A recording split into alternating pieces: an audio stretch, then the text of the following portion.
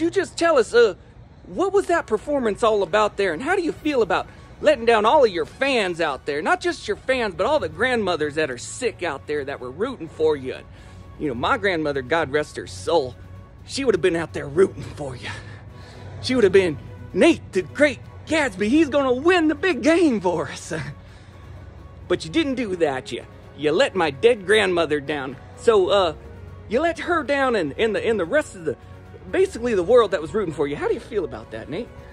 Execute in certain ways, and that just didn't happen. Now let me just break in there real quick. Now your wife left you in the in the middle of the game. Now now does that does that weigh heavily on you? Uh, the fact that your wife left you and took your children, and uh, basically just said that she she's getting a restraining order against you after that performance. I mean, it doesn't help. Thoughts Yeah, on and, and, and, and, and the report on your kids saying that they want a new man for their daddy, that their daddy is, is dead to them. I, I, I, I, that must just play on you real heavy.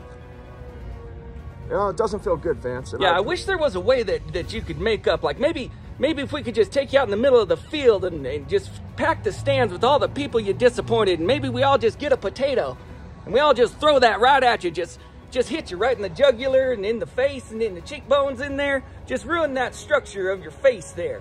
Uh, just just just do to you what you did to that performance out there tonight. Well, after that. Yeah, let's try to get a lottery going there. Uh, we'll call it Nate the Great Potato Gadsby, and uh, we'll go out there and we'll uh, chuck potatoes at him. Sounds good. All right, you better hit the shower, son. yeah. Yeah, I know that game sucked, but at least I got a juice box.